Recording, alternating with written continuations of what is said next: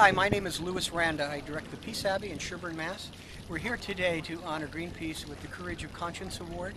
Of all the organizations, peace, justice, environmental groups, no group uh, has done more to exemplify the uh, uh, strategy of nonviolence than, than, Greenpeace has. So we're delighted to, uh, to be here today, and uh, it all started for me and so many people here today with Greenpeace. Thank you so much.